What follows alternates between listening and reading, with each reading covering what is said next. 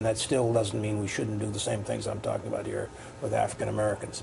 But, it, but we cannot possibly be a viable party if we're just a white male party, and that's the, that's the, where we're getting to be. Lili, I want to ask, I want to raise a, a question. I'm sure you've heard it before, but it's coming in from uh, Johnny Walker, one of the commenters in uh, the chat room, who asked about Marco Rubio, who came out uh, and has now endorsed Mitt Romney. If if Rubio is chosen as VP, what does that do to the Latino vote? Does that help to? Obviously, it would bring some over, but it does it bring over the entire community, the entire block? Yeah. Well, that is the second question I get asked the most. The first one is, what is that magic recipe for getting to Latinos now, the Marco Rubio card?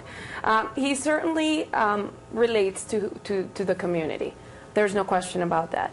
Um, he will be very impactful in Florida, which is a critical state. We know that. Back to electoral math is a must-win type of state.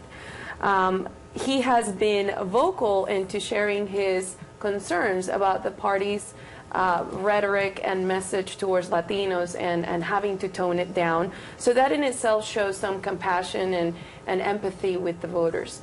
However, and I've said this before here, and I've gotten some tweets that are not so friendly, um, he is not fully, truly representative of the majority Hispanic voter base, which happens to be of Mexican descent, Mexican American descent. Now, that doesn't mean he cannot relate. He can absolutely relate, but it still doesn't feel fully like the face and the concerns and the issues of the bigger proportion of Hispanics, which anywhere between 60 to 70 percent will be Mexican Americans that are able to vote and will be voting.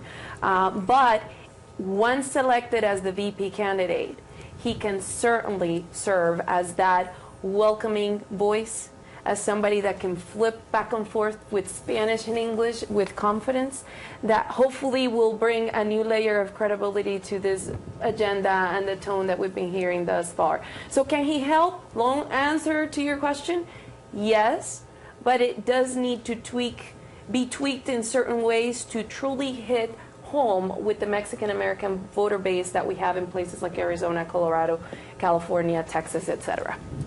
Uh, Doug, real quickly, would Rubio be a game changer? Oh, absolutely. Look, it is so logical and obvious that the Republicans pick Marco Rubio because he's young, Latino, Florida, and optimistic. That given the party of my dear friend Ed Rollins, I'm fairly well convinced that they won't pick him. That they will not. They will not. They will not? It's too logical. I, I'm, I'm, a, I'm a big Marco fan. I first met him four years ago when he was just out of being the Speaker of the uh, legislature in Florida, and he came to New Hampshire, he and his family, to endorse Mike Huckabee. I was chairing Mike Huckabee's campaign, and I said, who are you, and what are you doing here? And, and uh, he said, I'm going to support Mike Huckabee. I believe in him. Took us through Florida, uh, has this extraordinary family, uh, very tied to the community there. Obviously, the uh, Cuban American family is, is different. I totally agree with it. I think for the party, for the sake of our party, uh, I, I think he's I think he's as good as anybody else, and what he does is he gives us a future leader. Uh, you know, you, there's there's a lot of other candidates you can appoint, Rob Portman, what have you, but at the end of the day. Th- they, they don't give us someone in the future, and as Palin proved last time, uh, once you become a vice presidential candidate, win, lose, or draw, you're a very, very big player.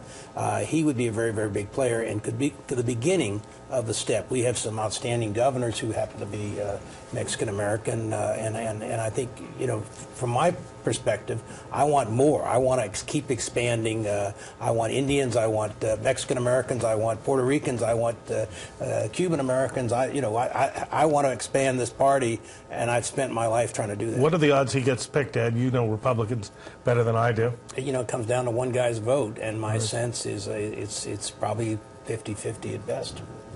Nikki Should be. Haley. Uh, Nikki Haley could be the other. Uh, Who's who's, who's, a, 50-50. who's a very fine candidate, uh, and and you know we have uh, we have a couple of uh, Mexican American governors who are outstanding too, and Sandoval and what have you. So. Uh, Lili Gil Valletta is a young global leader who was recently elected by the World Economic Forum, and she's also on the Women's Leadership Board at Harvard's Kennedy School. Uh, you got a lot going on. She's uh, co-founder of XL running.